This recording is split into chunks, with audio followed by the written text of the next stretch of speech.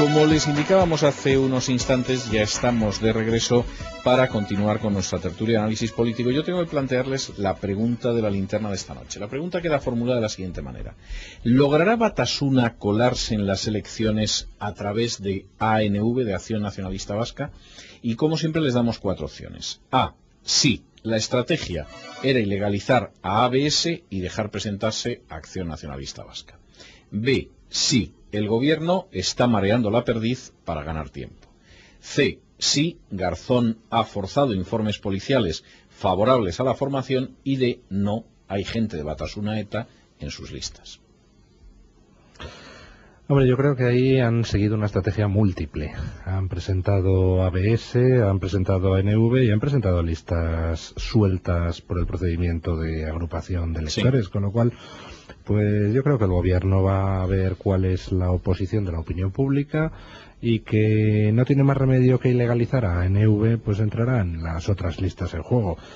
Ahora, quizá el verbo colarse en la pregunta de la en la formulación de la pregunta no sea el más adecuado. Yo creo que Batasuna se va a presentar y no precisamente colándose por la puerta de atrás, sino por la puerta grande, más que nada porque le dejan. La decisión estratégica está tomada por el señor ZP y sus, amigos, Y es que hay Cuando dice usted sus amigos, ¿a quién se refiere? Pues la gente que lo rodea. Al juez Garzón, a... Sí, al juez Garzón, a Roque López, a sus amigos, vamos. Eh, entonces, eh, decir, de lo que se trataría sería de hacer un hueco eh, por el que obligatoriamente iba, iban a pasar, iban a pasar.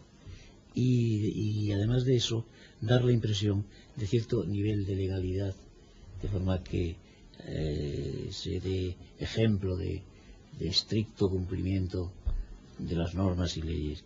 A mí me da la impresión que hay pocas dudas de que esto va a ser así, es decir, que eh, Acción Nacionalista Vasca, eso es una cosa que no existe, ¿no? que no existió durante tantos años, pero que van... Luego forma parte de la mesa de Ribatasuna, bueno, era uno de los grupos que estaba, sí. Pero ¿cuántos eran? Serían seis, ¿no? Eh, y casi todos ellos además en el exilio, cosa interesante, casi todos ellos formados en el exilio, gente mayor, gente... Eh, yo creo que hay pocas, pocas dudas. Eh, y si no, y si las hubiera, pronto habrá un fiscal del Estado, que se encargará de despejarlas. ahí, ahí va a haber pocas dudas, ¿no? Ya encontrarán el sistema.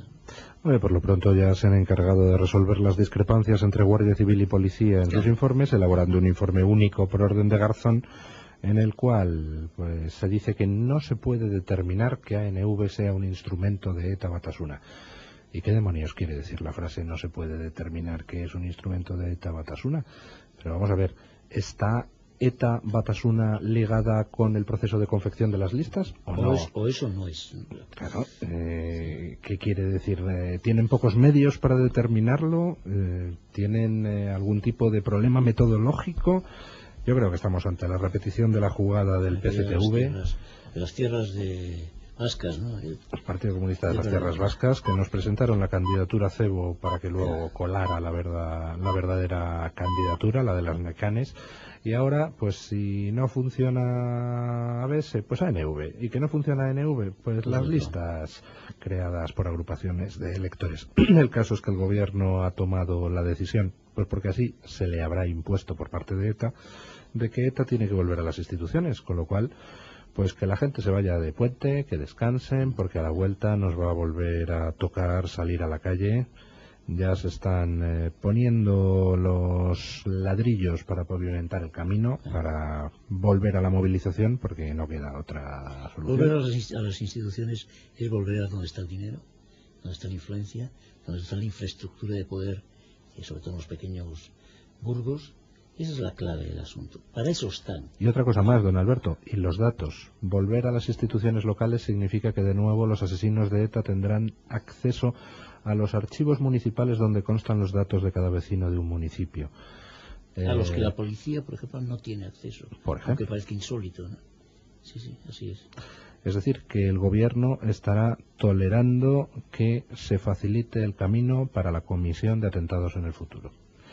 Bueno, pues en algún momento responderán ante la justicia quienes van a hacer eso. ¿Usted cree? Hombre, yo creo que vamos a ser muchos los que No, si no, trabajemos en esa línea, sí. Es que si que pensáramos que no, lo que hacíamos era, al terminar esta emisión, pues nos íbamos a buscar algún billete barato transatlántico, ¿no? Si de verdad, si de verdad eso es así, ¿verdad? Si de verdad ya no hay ninguna esperanza de que la ley se cumpla aunque sea mínimamente, no, no, pues habrá que, habrá que país, ¿no? cierta esperanza sí Claro, hay. sí. Entonces, eh, Yo, por, esta- yo, esta- por ejemplo, emigraría a Francia, donde hasta la candidata socialista dice que le gustaría que cada familia francesa tuviera una bandera de Francia en su casa. Hombre, Bueno, eh, pero eso a Zapatero no le importaría. Que aquí en España hubiera una bandera francesa Sin en cada casa hay no creo que le tantas, importe. ¿eh? No hay tantas, no, no. No, uno de los descubrimientos, no voy a defender a, a, a Segolén, a la reina Segolén, porque hay alguien que la defienda con más entusiasmo. Pero una de las cosas que ha hecho ha sido un poco el descubrimiento de la bandera. En Francia se utilizaba poco la bandera. Ahora hay banderas. ¿Quién lo diría? Sí, pues, pues sí, pues pese al chauvinismo, pese a todo esto. Y sin embargo ahora hay banderas por todos los sitios. Bueno o malo, bueno. Para mí es bueno. Hay gente que considera que es... Lo que pasa es que esto es comparado con quién. Es decir, la sensación que uno tiene o tenía antes cuando llegaba a Francia es que había muchas banderas. Sí. Sobre todo porque venía de España. Y esa sensación lo tiene también uno ahora cuando llega a Estados Unidos. No, en Estados Unidos siempre ha habido esa sensación. O sea, en Estados Unidos banderas hay por todas partes, es decir, en los automóviles, en las barberías, en las casas, en las Además, tiendas de automóviles, en todas partes. Vayas al estado que vayas y al condado que vayas, siempre te encuentras con alguien que te enseña una bandera enorme y te dice, esta es la mayor que hay de eh, Sí. Estados Unidos en Estados Unidos. Y dices, es imposible, no pueden ser todas la mayor. Sí. No, no, sí, de eso a mí no me cabe ninguna duda. Por cierto, cambiando de tema y en lo que nos dan los